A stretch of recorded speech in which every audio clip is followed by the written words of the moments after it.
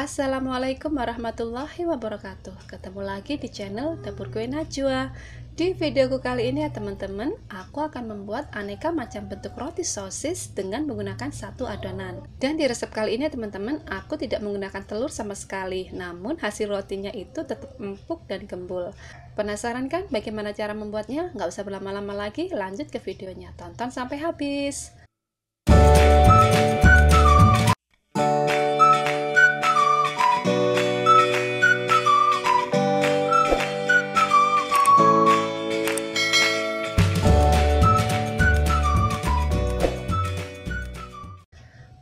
Pertama-tama aku sudah menyiapkan 325 gram tepung terigu protein tinggi 30 gram gula pasir halus dan 1 sendok makan ragi instan. Aku aduk semua bahan ini terlebih dahulu. Kemudian aku menambahkan 190 ml susu cair 50 gram butter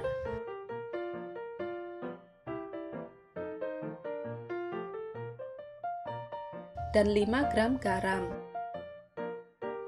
aduk semua bahan ini dengan spatula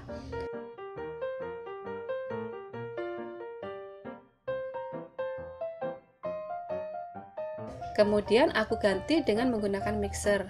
Mixer selama 10-15 menit sampai adonan ini kalis elastis.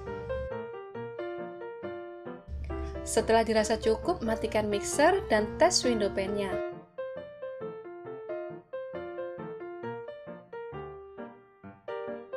Di sini terlihat ya teman-teman, adonannya ini sudah kalis elastis. Setelah itu bulatkan dan olesi dengan minyak. Kemudian resting adonan ini selama 30 menit.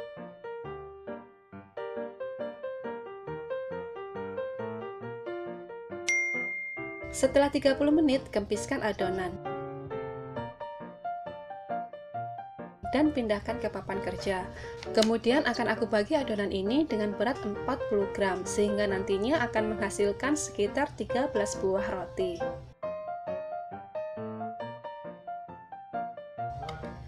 Rounding adonan ini, kemudian rounding adonan ini sampai halus.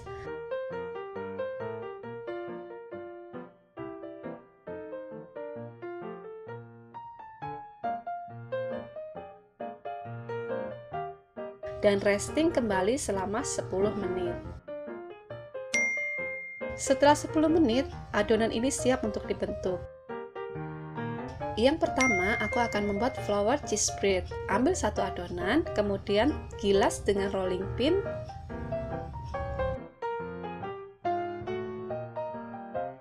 Tipiskan bagian bawahnya seperti ini ya teman-teman. Dan taruh atasnya dengan sosis. Kemudian gulung sambil dipadatkan.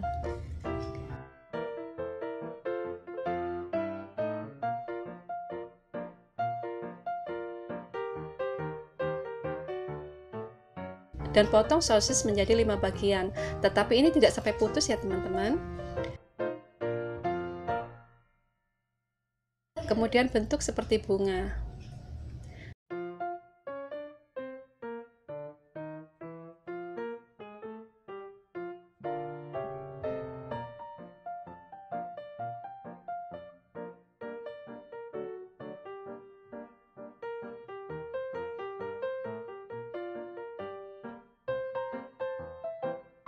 Nah, hasilnya seperti ini teman-teman.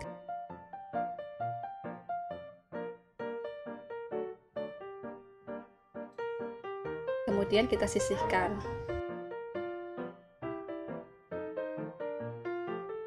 Sebelumnya, buat teman-teman sudah subscribe, like, komen, dan share, aku ucapkan banyak terima kasih sudah mendukung channel aku ini. Semoga mendapat keberkahan dari Allah Subhanahu wa Ta'ala. Dan buat teman-teman yang belum subscribe, klik tombol like, subscribe, komen, dan share ya. Aktifkan juga notifikasi loncengnya agar tidak ketinggalan videoku selanjutnya. Lanjut ke adonan.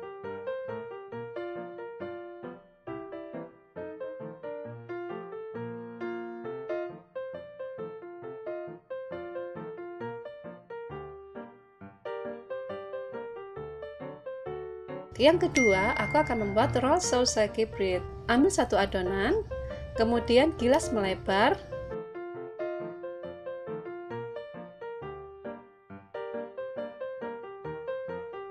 dan gulung sambil dipadatkan. Kemudian bentuk memanjang seperti ini. Lalu siapkan sosis dan lilitkan adonan ini ke atas sosis.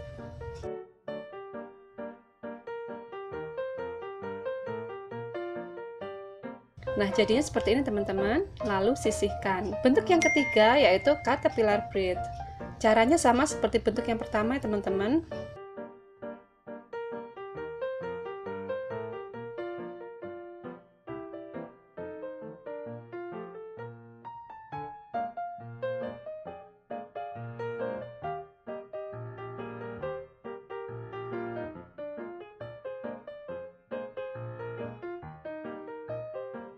Cara memotongnya juga tidak sampai mutus.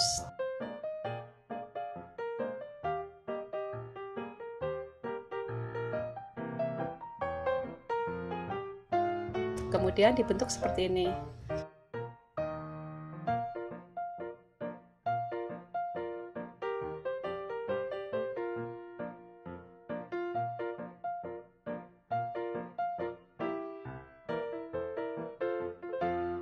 Setelah selesai, lalu sisihkan. Dan bentuk yang terakhir yaitu squid bread. Ambil satu adonan, kemudian pipihkan.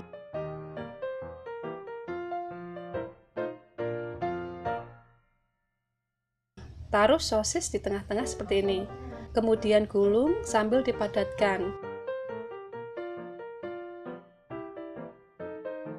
Lekatkan bagian pinggirannya ini ya teman-teman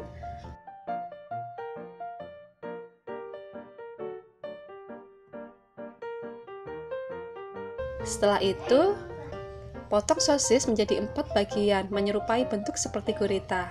Kemudian semua adonan ini taruh di loyang yang sudah dialasi dengan baking paper dan proofing selama 60 menit atau sesuaikan dengan suhu di rumah masing-masing.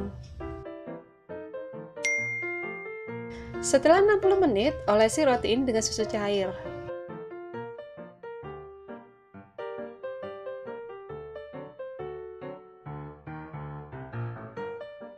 Untuk caterpillar bread, aku olesi atasnya dengan saus dan mayones.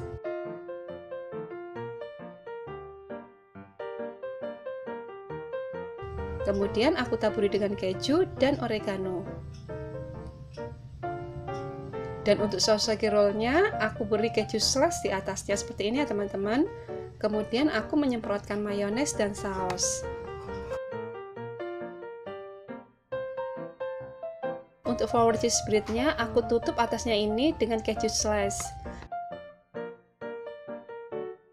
Semprotkan mayones dan taburi oregano.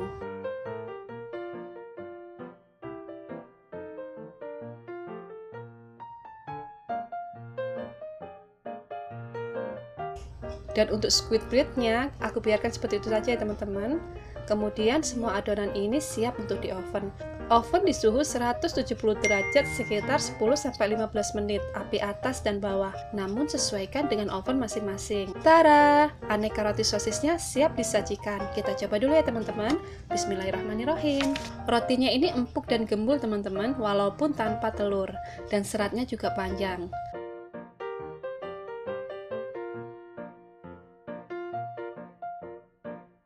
Dari satu adonan ini bisa menghasilkan empat macam bentuk roti dengan berbahan dasar sosis dan sangat cocok untuk dijadikan ide jualan.